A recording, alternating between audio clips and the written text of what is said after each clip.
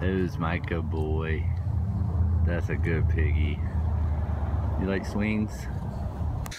So I've got some friends that I value their opinion and they've told me that you don't do enough of the blogger, vlogger stuff where it's actually your face.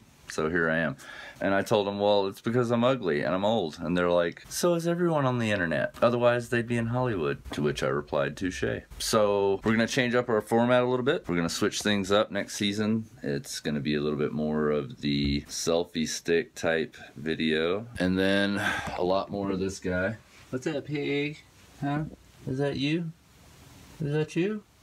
That's a good boy. And of course, we're gonna be putting a motor into that car, probably a V8. I'm hoping for an LS2 or greater. The Harley is still for sale. Check it out on Craigslist Colorado Springs or Craigslist Denver. We're gonna be changing up our garage setup completely. Even the front yard's gonna be made all gravel.